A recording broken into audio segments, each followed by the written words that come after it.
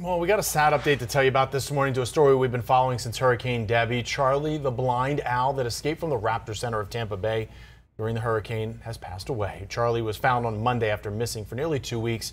The Raptor Center says he died Thursday morning. He was scheduled to have a blood transfusion on Thursday.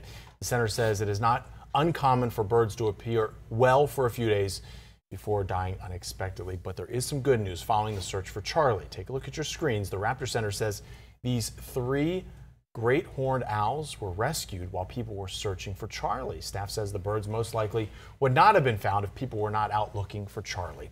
Two of the rescued birds have fractures, including one on the wing.